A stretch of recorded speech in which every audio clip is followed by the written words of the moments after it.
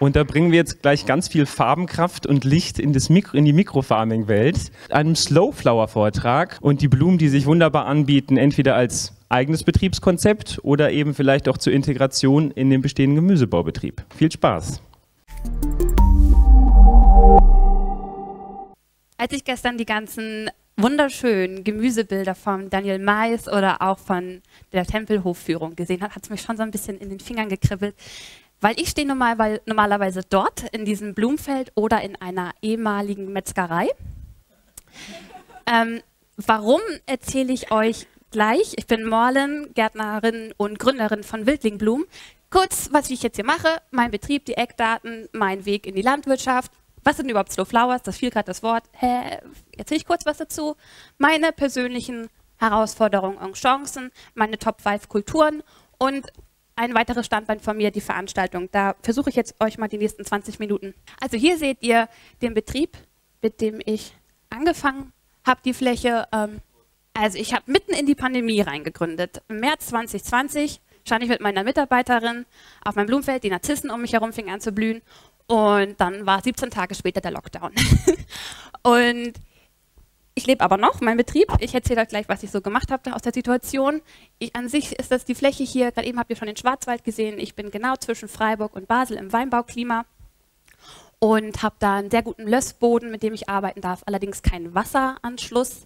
Das sind jetzt hier die ah, 6000 Quadratmeter, mit denen ich gestartet habe. Ihr seht da, ich habe 8000 da stehen. 2000 habe ich nach der ersten Saison noch dazu gemietet für Pfingstrosen, 1300 Pflanzen, die aber erst in den nächsten Jahren dann in Ertrag kommen. Die habe ich hier nicht auf dem Foto. Hier seht ihr, ich habe ungefähr ähm, ein, je ein Fünftel Dahlien, Frühlingsblumen und Stauden und dann zwei Fünftel einjährige Sommerblumen. Genau. Ich habe das Glück, dass knapp die Hälfte der Fläche mir gehört und der andere Hälfte ist gepachtet. Ich bin nicht alleine. Ich habe, wie gesagt, von Anfang an mit einer Mitarbeiterin gestartet. Ich habe inzwischen sechs Teilzeitkräfte zusammen. Mit meiner Vollzeit-AK sind das dann 2,2 Arbeitskräfte, die auf diesen 8000 Quadratmetern ähm, arbeiten. Ich habe neben den äh, Flächen noch eine Bauwagen, wo ich das Material habe, ein Glashaus, was ich hauptsächlich für Veranstaltungen nutze und dann noch diese Metzgerei, von der ich gerade gesprochen habe. Das hat sich sehr gut ergeben, dass im Dorf bei uns die Metzgerei zugemacht hat und ich die Kühlräume mieten konnte, weil das ist bei Blumen schon ziemlich elementar. Es ist ja sowas, was geerntet wird und vermarktet werden muss. Und wenn du dann noch einen Kühlraum hast, ist schon mal gut. um das ein bisschen zu strecken vielleicht auch mal. Ich mache die äh, Anzucht, habe ich die Möglichkeit in der Gärtnerei, wo ich vorher gelernt habe, ähm, gearbeitet habe, mit mich einzuklinken. Das ist sehr praktisch, weil es einfach professionelle Bedingungen dort sind. Genau, hier seht ihr so ein bisschen, wie ich meinen Umsatz aufbaue, die verschiedenen Standbeine. Ich vermarkte hauptsächlich an also die Endkunden Direktvermarktung, habe aber dafür einen ich habe ja gesagt, ich habe in die Pandemie reingegründet. Ich hatte eigentlich ganz andere Pläne, aber ich bin jetzt im Online-Versand gelandet, weil als ich gegründet habe, alles zu war, was ich geplant hatte. Floristen waren zu, Restaurants waren zu, die Bioläden waren alle super vorsichtig, weil sie auch demnächst irgendwie Einschränkungen haben. Und ich stand in meinem blühenden Feld und habe dann netterweise Follower gehabt auf Instagram, die gesagt haben, schick mir welche. Und daraus hat sich die letzten drei Jahre ein sehr dankbares Standbein entwickelt mit dem Online-Versand. Kann sich aber auch wieder ändern die nächsten Jahre. Mein Ziel ist nicht, der Bio-Blumenversand Deutschlands zu werden. Ist eine Brückenlösung gerade. Genau. Ähm, ich vermarkte auch an Direktkunden, die Hochzeiten zum Beispiel feiern oder große Feste. Da gibt es dann eimerweise Blumen zum selber dekorieren. Ich mache keine Floristik. Auch meine Sträuße, die ich online vermarkte, sind nur lose aneinandergelegte Blumen, die sie dann selber zu Hause arrangieren. Und habe seit diesem Jahr einen Feldstand der war toll, auch für die Außenwirkung, dass die Leute überhaupt mal sehen, was passiert da. Genau, Floristen sind nur 13 Prozent, hatte ich anders kalkuliert, aber Floristen sind auch ein sehr hm, traditionsbewusstes äh, Klientel. Für die ist dieser Umstieg auf die anders ausschauenden Blumen als diese perfekten Blumen ein, ein Weg, der noch gegangen werden muss. ähm, Veranstaltung ist wirklich ein Drittel von meinem Umsatz. Veranstaltung heißt Workshops im Bereich Weiterbildung. So Flower Anbau, da arbeite ich auch oft mit einer Floraldesignerin zusammen, die dann das Arrangieren mit den Blumen vermittelt und ich den Anbau so ein bisschen. Das ist, machen wir zweimal im Jahr. Ähm, dann habe ich Freundinnenabenden, heißt das. Da seht ihr nachher noch ein paar Impressionen, was das ist. Ähm, da kann man sich einen Platz an einer festlich geschmückten Tafel äh, einkaufen und dann Blumenkränze binden. Ähm, klingt einfach, ist aber sehr tiefgreifend. Ähm, und was habe ich noch? JGAs war dieses Jahr krass, alle hatten die Hochzeiten aufgeschoben, weil Pandemie war und dieses Jahr war eine Explosion an Festen und JGAs und und die waren ganz glücklich, einen anderen JGA zu haben als irgendwie Exit, Ex, wie heißen die, Escape Room und äh, diese ganzen Sachen. Genau. Äh, Junggesellenabschied. Wenn man mit Blumen arbeitet, kommt man schnell an diese ganzen Hochzeitssachen ran. ähm, und die Blumenbar, das ist etwas, was ich liebe, weil es eine Win-Win-Situation ist. Ich verkaufe online Tickets maximal 15 pro Veranstaltung und die Leute kommen auf mein Blumenfeld und ernten sich selber Blumen und es gibt kostenfrei Kaffee und Kuchen hinten am Glashaus. Also es ist ein kleines Erlebnisevent, oft für Freundinnen, Familien oder wenn man sich was gönnen will. Für mich vom Umsatz her, für die kurze Zeit sehr gut. Ich nutze das, was da ist. Ähm, kann ich nur empfehlen, wenn ihr irgendwie ein schönes Land habt, das noch quer zu nutzen. Ich habe 2011 meine freie Ausbildung angefangen. Ähm, vom Demeterverband im Norden, bin jedes Jahr woanders hingehüpft, habe meine Lehrjahre vor, äh, meine Wanderjahre quasi vor meine Lehrjahre geschoben, bin dann bei meinem letzten Betrieb hängen geblieben, bei der Gärtnerei Piloveri und bin da eingetaucht in den Freilandanbau, Saatgutvermehrung und habe einen Markt gemacht. Habe dann aber gemerkt, dass da die Karrieretüren geschlossen sind. Vielleicht, weil ich mich in den Chef verliebt habe. ähm, hatte also dort keine Möglichkeiten, tiefer diesen Gemüsebaubetrieb zu übernehmen, was aber oft eine Tür ist zu, eine andere geht auf. Und dann bin ich zu dem gekommen, was ich jetzt mache und liebe und da voll reingehen kann. Also genau, habe dann, um mein Wildling-Projekt äh, zu vertiefen, Meisterschule angefangen, Biolandwirtschaftsmeister in Emding, Hochburg Emding, und habe da die Auszeit von dem körperlichen Arbeiten genutzt, mich in das Thema zu vertiefen, habe halt alles Mögliche recherchiert und kalkuliert und Steuern mal gehört und Mitarbeiterführung mal gehört und ähm, genau, war gut. Und dann kam halt alles anders. äh, habe aber die Zeit auch genutzt, eine Bauernhofpädagogik äh, Weiterbildung zu machen und von einer amerikanischen Flower Farmerin, die man schnell entdeckt, wenn man den Weg geht mit den Blumen, ähm, ein Online-Kurs, der auch super intensiv und toll war, auch aus der Betriebsführungssicht. Genau. Ähm, dann steht da Mitbegründung Slow Flower Bewegung. Slow Flower Bewegung haben wir 2019 gedacht, es muss doch irgendwie noch mehr Leute als den und den und den geben. Lass doch mal irgendwie uns vernetzen. Und waren dann neun Leute, die gesagt haben, ähm, cool, lass mal unser Wissen austauschen. Wie macht ihr das? Also ein Interessenverband eigentlich so und sind nach drei Jahren 200 Mitglieder in der ganzen deutschsprachigen Raum. Deutschland, Österreich, Schweiz hauptsächlich, aber auch Belgien, Luxemburg, Südtirol. Es sind so ein paar Betriebe dabei, äh, sehr Frauen geführt. Ähm, ich sag mal, wir sind ungefähr 90 Prozent Frauenbetriebe und 10 Prozent Männer. In der Blumenindustrie sieht es ungefähr genau andersrum aus. und äh, ja, Saisonal, regional, nachhaltig ist unser Motto. Wir schreiben nicht biologisch, weil die wenigsten von uns sind wirklich zertifiziert und die wenigsten von uns arbeiten im Vollerwerb. Da seht ihr hier, also Hobby 20 Prozent, Nebenerwerb 50 und Vollerwerb 30 Prozent. Ich glaube, vielleicht ist der Hobbybereich auch noch gestiegen jetzt in den letzten Jahren. Das sind viele Leute, die sich nochmal umorientieren nach der Elternschaft oder Midlife Crisis und ähm, da aber nochmal ähm, da einfach, äh, ich sehe ein großes Potenzial in dem Blumenanbau. Ihr habt alle mitbekommen, Energiepreise steigen.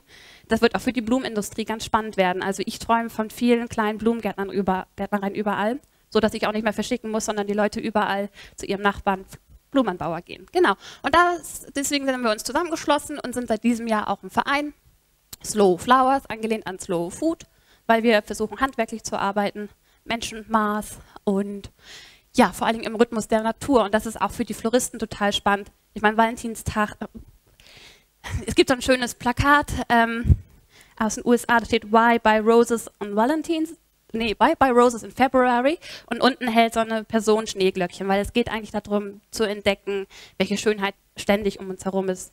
Und äh, in der Floristik ist das auch krass, da gibt es einen Steckschaum, der ist einfach so dieses grüne Moos, wo man auch im Kindergarten früher so Sachen reingesteckt hat, das ist einfach voll der krasse Erdölprodukt, das nie sich ganz wieder verschwinden wird, wird einfach mal kleiner und kleiner und kleiner, also schlimmes Produkt. Deswegen frage ich mich auch, ob euer Abfall, den ihr den Kompost, Grünschnittkompost aus dem äh, Friedhofsbereich, ob, vielleicht müsste man mal danach fragen, ob da auch dieses ganze scheiß Steckschaum drin landet. Naja, also da ist auf jeden Fall ähm, großer Wandel auch in der Floristik. Da geht es jetzt viel um, wie können wir diesen ganzen nachhaltiger gestalten. Probleme Blumenindustrie ist ein riesen, riesiges eigenes Thema. Könnten wir in meinem Workshop vertiefen, mache ich jetzt mal nicht. Hier seht ihr ein paar Impressionen von den letzten Tagen teilweise, aber auch zur ganzen Saison aus meinem äh, Instagram-Profil. Ich habe die Schriften weggemacht, weil das würde jetzt ablenken, da steht halt bla bla. ähm, hier ist äh, die Ernte. Gerade habe ich eine Kosmenschwemme und Dahlienschwemme. Gott sei Dank nach der Dürre macht es nochmal, bei euch wahrscheinlich auch, dass alles nochmal zuwächst, oder? Also war herrlich jetzt. Hier seht ihr so ein bisschen Versand aus dem Frühling. Das sind jetzt Ranunkeln Narzissen drin. Äh, Im Sommer werden die Pakete etwas dicker und etwas weniger. Hier seht ihr äh, äh, Aster, die, die, Sorte heißt Astra Rosé, aber es sind Sonnenblumen. Und ich versuche halt so ein bisschen mich von diesem Mainstream abzusetzen durch besondere Farben. Da sind wir dann, oder Form, aber da sind wir dann auch schon bei dem Thema Saatgut. Ich habe vor Gemüse, ne? Und ein Bingheimer Saatguttütchen gehabt und zack, äh, hat man Tütchen aus Taiwan und sonst wo. Also Riesenfeld, Saatgutanbau, Blumen. Bingheimer Saatgut AG hat das nicht als Schwerpunkt, aber je mehr wir werden, desto interessanter werden wir als Zielgruppe. Ich arbeite auch mit dem BCS 740, glaube ich, habe eine Kreiselecke und ein Mulchgerät und mache damit inzwischen meinen Anbau komplett. Ich brauche keinen externen Lohn, Leute, die da mal irgendwas machen. Das ist ein herrliches Gefühl. Ähm, ja, ich äh, habe viel dieses Jahr versucht mit Gründüngung zu arbeiten. Wie gesagt, ich bin in der dritten Saison und vor bei der Gärtnerei Piloveri war alles ähm, aufgegliedert in verschiedenen Rädchen. Der kann das gut, der kann das gut, der kann das gut. Ich lerne es gerade nochmal. Auch Gründüngung finde ich schon, also äh, bis man das richtig kann, auch ein weiten, noch ein Weg, bin ich noch auf dem Weg, ne? Aber aber es bringt Spaß. Ich finde es richtig spannend.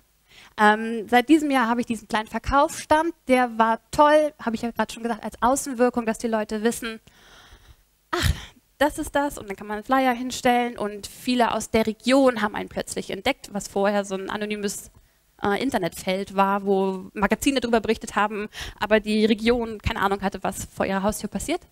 Das ist schön, das hilft. Ähm, habe aber jetzt gerade diesen Herbst Probleme mit Diebstahl bekommen, werde mir was anderes noch überlegen. Mm, hier ist so ein kleines Video. Wir haben gerade ähm, die Ranunkeln in die Erde gesetzt. Äh, so mache ich halt meinen Instagram-Account. Auch nehme die Leute so ein bisschen mit, dass sie wissen, was bei mir passiert. Was grad, und dann freuen die sich auf die Ranunkeln. Und hat man das noch mitgeführt, die Leute, und sie freuen sich genau. Das ist äh, eine Dahlienernte aus dem letzten Jahr. Hier Regenmonitor. Komplettes Gegenteil von diesem Jahr, wisst ihr ja. Aber die, für die Blumen war es ein Traum. Hier ist eine Lieferung an, einen, an eine Floristin aus Freiburg. Genau, so kann das dann mal aussehen. Äh, Herausforderungen und Chancen. Genau, es hat ja immer, auch wenn man manchmal erst ein bisschen später entdeckt, aber meistens auch eine positive Seite. Corona hat mich zu diesem Versand geführt, der mir echt den Arsch gerettet hat in der Zeit der Gründungsphase. Die Dürre führt mich jetzt gerade dazu, zu beobachten, was wächst dann trotzdem gut. Ich habe zum Beispiel mega viel gepflanzt und merke gerade, da ich ja keinen richtigen Wasserversorgung äh, habe, also nur mit so einem da seht ihr es, ach cool, da ist mal ein Bild. Äh, so einen Tank habe ich und dann Tröpfchenbewässerung, kann eine Pumpe zwischenschalten, um auch so ein Düst, Düstgerät, also eine Brause anzuschließen. Aber das ist eine Krücke und wenn kein Regen kommt, habe ich echt Probleme und diesen Sommer extrem. Aber ich habe gemerkt, die Direktsaaten klappen halt viel besser. Also da werde ich jetzt mehr Richtung Direktsaaten gehen, um auch in solchen Jahren oder auch äh, Sorten anpassen, Prärie, Stauden. ähm, genau, um da einfach Blü in der Fülle zu stehen und die Fülle zu vermitteln, auch wenn es drumherum ein bisschen hart ist. Arbeitspensum, klar, kennt jeder, der gründet, glaube ich. Ähm, liebe diese Winterpause, die ich im Winter habe, von vier Monaten. Also meine Saison ist von März bis zum Frost. Das kann mal Ende Oktober, Mitte November sein. Ich habe ja Weinbauklima, ich habe deswegen auch ein Anbauvorteil für viele äh, im Norden. Da sind die Floristen dann schon hungrig nach Blumen aus, der, aus Deutschland zumindest. Und im Norden wächst noch nichts, aber im Süden kann man es hochschicken. Das ist in dem Fall sehr praktisch. Ähm, aber genau, ja, Strukturen schaffen, Ordnung, das sind dann die Hebel, wo man, wenn man händisch arbeiten will, ähm, trotzdem klarkommt mit. Genau, Mitarbeiter habe ich ja von Anfang an dabei gehabt und finde es mega bereichernd, ähm, weil die so ganz anders aufdenken und gute Impulse reinbringen und Sachen ausgleichen, die ich nicht gut kann. Aber es ist auch herausfordernd, merke ich immer mehr und mehr, auch mit den zunehmenden psychischen Krankheiten. Klar, Depression ist inzwischen kein Tabuthema mehr, aber wie geht man damit richtig um, auch als Arbeitgeber? Ähm, spannend. Frag mich auch, wie kann man das gegebenenfalls anpassen? Ich fand gestern die Lösung auch total schön mit mehr Auszubildenden und Praktikanten zu arbeiten, weil die auch so, ein, so eine Begeisterung mit reinbringen. Ne? Du, das ist ja auch schön für den äh, Arbeitgeber dann. Genau, ich komme aus dem Gemüse und das ist schon, bis man Blumen versteht, einen äh, Weg, weil die haben oft unterschiedliche Rhythmen, Zweijährige, die Herbstpflanzungen. Äh, Trockenblumen, also da kann man so, und die Erntezeitpunkte, die Lagerung, dass das alles frisch ist und dem Kunden gemäß noch lange hält und an den Floristen passt. Also kann man so viel lernen. Das war ein großer, ist, ist immer noch ein Lernfeld für mich. Ähm, Notizen, Weiterbildung helfen da. Finanzierung, ich bin zum Glück kredit- und schuldenfrei, aber bis man so einen Betrieb startet, war es bei mir schon auch 60.000 Euro ungefähr, glaube ich. Und wie kriegt man die finanziert? Ähm, ich habe ein Crowdfunding gemacht, habe Existenzgründerzuschuss bekommen. Deutschland hat schon auch tolle Möglichkeiten, da ähm, einen zu unterstützen habe den Meister BAföG da reingesteckt und ein vorgezogenes Erbe für meine Eltern. So, also wie finanziert man das um? Also mein Leitstern ist Freiheit. Ich hasse einfach Abhängigkeiten und finde es mega schön, da, dass man Wege gehen kann, gerade in der Selbstständigkeit, dass man einfach selber entscheiden kann und keinen Chef hat, den man fragen muss. Top-Kulturen. Habe ich jetzt mal vier hier, zu denen ich kurz was erzählen will. Hier seht ihr Ranunkeln. Die baue ich in so ein hüfthohen Mini-Tunnel an, ungeheizt, also schon fast noch Freilandanbau mache ich eigentlich komplett, aber halt diese kleinen Mini-Tunnel. Und gerade Frühling, die Leute kommen so hungrig aus dem Winter. Also wenn ihr Blumen anbauen wollt, sucht euch vielleicht den Frühling auch aus, weil da sind die Leute einfach, da, oh, sind, reißen sie es aus der Hand, egal was nehmen. Und im Sommer ist es schwierig, weil alle im Urlaub sind, kennt ihr von den Tomatenanbau, ne? Und ähm, selber in ihrem Garten was haben. Also der starke Frühling ist top, wenn man den mitgreift. Also Ranunkeln, Anemonen, auch Tulpen und Narzissen. Wobei diese ähm, Tulpen und Narzissen werde ich, in meinem Online, äh, werde ich in meinem Kurs nachher noch vertiefen, warum das auch Problematiken hat. Aber ja, so als, ein, äh, als Impuls. Was ist das? Eine Dahlie. Ähm, da gibt es so coole Sorten und so geile Farben und die werden nochmal richtig kräftig im Herbst. Also wenn die Leute wieder aus dem Urlaub zurück sind, kann man nochmal einen starken Herbst mitnehmen. Ähm, Dahlien sind da toll, Chrysanthemen gibt es auch in coolen Farben, nicht nur dieses steife Zeug, was man im Supermarkt sieht. Dann habe ich, ich springe mal kurz hier rüber, das sind äh, ein Symbolbild für Trockenblumen. Das ist tatsächlich ein Bestand von einem weißen Doldenblütler, so einem Ami, den ich nicht, ab, nicht verkauft bekommen habe. Ähm, das ist, Trockenblumen sind einfach mega der Trend gerade ähm, und du kannst dann Ernte also du kannst gezielt dafür anbauen, Strohblumen, Statizen, alles Mögliche, aber du kannst auch Ernteüberschüsse, Samenstände dann nochmal im Herbst als kleines Einkommen haben oder im Winter. Also ich versuche so bis Weihnachten alles verkauft zu haben, weil ich dann meine Winterpause für inspirierende Sachen haben möchte oder Planung, Online-Shop korrigieren. Aber genau, Trockenblumen ist eine tolle Möglichkeit. Ah, und das ist hier Pfingstrosen, als Symbolbild für Stauden überhaupt. Ich meine, mehrjährige Sachen kennt ihr alle ein, einmal gepflanzt und man hat einfach eine längere Zeit ähm, gut davon. Also gerade Pfingstrosen ist ein hohes Investment am Anfang, aber du hast einfach 20 Jahre lang dann Ernte. Veranstaltung, weil ein, eine Gärtnerei, ein Blumenfeld, eine, überhaupt ein, eine Farm so viel mehr bieten kann als nur Ernährerin im Sinne vom physischen. Ähm, ich habe halt diese Freundinnenabend, das ist jetzt von diesem Herbst, da kommen halt die, ähm, die Leute deutschlandweit teilweise hergefahren, um auf diesem Feld zu sein und da eine Auszeit für sich zu haben. Es ist Wahnsinn, was da für ein Bedürfnis ist, der Leute mal rauszukommen aus ihrem Alltag und in was Schönes einzutauchen. Das ist auch irgendwie auf eine Art heilsam. Und die bauen dann sich dann diese Blumenkronen für jede Frau so unterschiedlich, wie wir alle unterschiedlich sind. Das ist auch für mich immer schön. Da spule ich jetzt einfach mal so ein bisschen durch so ein paar Impressionen. Das ist in meinem Glashaus. Ähm, also es ist eigentlich, du kannst den Ort, den du hast, nutzen. Du brauchst nur so ein paar Utensilien, die du einfach immer wieder nutzen kannst. Hübsche Deko, Sitzgelegenheiten, ein Plumpsklo. Ähm, genau, und dann kannst du das, ja, viele Leute mit glücklich machen. Ich habe auch immer nur kleine Gruppen, also ich gehe nie über zehn Leute hinaus, dann ist das eine intensive, intime äh, Größe. Ich habe auch in meiner Bauernhofpädagogik Weiterbildung gemerkt, ich habe keinen Bock auf riesen Kindergruppen oder so. Also bin ich nicht so der Typ für. Lieber erwachsene Frau und Kind werden lassen. gefällt mir besser. ja. Ähm, genau. Ist einfach cool, was da passiert mit den Leuten. Die kommen aus ihrem Alltagsstress, es fällt ab und die werden irgendwie, ne? Ich habe das Glück, dass ich mit einer super Fotografin zusammenarbeiten kann, die halt bei mir um die Ecke wohnt. Das hat nicht jeder dieses Glück, aber kann ich jedem ähm, ins Herz legen wenn ihr, je nachdem wie ihr vermarkten wollt, aber in gute Fotos zu investieren, das ist einfach, kommt so viel Emotion rüber und ja, genau. Das könnte man, das ist jetzt auch von dem Freundinnenabend, aber so ungefähr passiert das auch mit denen, ähm, wenn die ihre Sträuße binden. Also ja, da fällt einfach, ja, man kann einfach tolle Sachen bieten. Das ist so ein Workshop, das ist die Anne, mit der ich da, also die Anne von EcoFlowers, die Floraldesignerin. Da sieht man mal, so sieht die Floristik der Zukunft aus. Sage ich jetzt einfach mal. Wild. Ja, ich finde es einfach mega schön, was sie macht. Wir arbeiten auch gerne mit hier, also da merkt man so mein Gemüsekontext. Ich liebe es irgendwie so Tomaten oder lila Erbsenschoten oder Möhrenblüten oder Basilikum oder ich habe auch schon welche mit Karotten drin gesehen. Also da kann man so coole Sachen machen und die Leute überraschen. Hier alles, sind halt alles Blumen von meinem Feld. Ihr seht, ich liebe die Vielfalt. Deswegen bin ich, glaube ich, auch mit zu den Blumen gegangen, weil man da einfach ohne Ende Möglichkeiten hat. Ähm, noch mehr als im Gemüse, finde ich. Äh, genau, das ist äh, die Workshop-Absolventen im Frühlingsworkshop. Ich glaube, das war mein Abschiedsbild. Und jetzt noch kurz, wie es weitergeht. Äh, ich habe nachher den Workshop, da können wir das nochmal vertiefen, was ich hier angerissen habe und eure Fragen vor allen Dingen Raum geben, falls ihr Bock auf Blumen habt bei euch im Betrieb.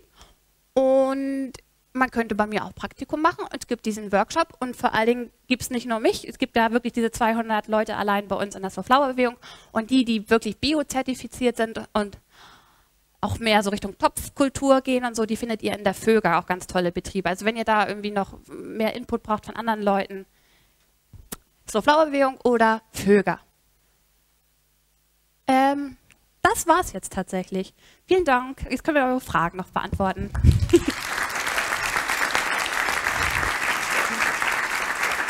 ja. Dank dir. Wir haben Raum für zwei, drei kurze Fragen aus dem Publikum. Ja, gerne kurz und knapp und ins Mikrofon sprechen. Äh, ganz kurz, du hast einen Existenzgründerzuschuss bekommen. Äh, die meisten sind, die schließen Primärproduktion aus. Wo bist du da reingerutscht? Äh, Existenzgründerzuschuss vom Arbeitsamt. Man muss halt vorher, die Bedingungen sind ja arbeitslos sein und ein Konzept einreichen. Mhm. Die haben es auch erstmal abgelehnt. Und dann einfach hartnäckig sein und nochmal probieren und sagen, das könnten wir nicht machen. Und dann geht's. Und noch kurze zweite Frage: Blumen verschicken, dadurch, dass sie ja frisch bleiben müssen, ist es, also das funktioniert gut für dich oder? Also, ich habe da jetzt drei Jahre lang dran rumgetüftelt. Das ist eigentlich ein Betriebsgeheimnis, aber jeder kann es rausfinden, wenn er meine Blumen bestellt. Ich kann es aber auch sagen. ähm, Blumen ist, also am besten Fall ernte ich morgens, die kommen in den Kühlraum, erholen sich von dem Schnitt und von der Hitze und berappeln sich, saugen Wasser. Und dann verarbeite ich sie bis zum Mittag. Da wird es abgeholt von Übernacht Express Versanddienstleister. Das heißt, sie sind am nächsten Tag bis um 12 dort. Das braucht aber trotzdem einen kleinen Wasservorrat und sie dürfen nicht rumschlagen in dem Paket. Sie müssen stabil sitzen. Genau. Das ist mein Trick. Möglichst schnell weg damit.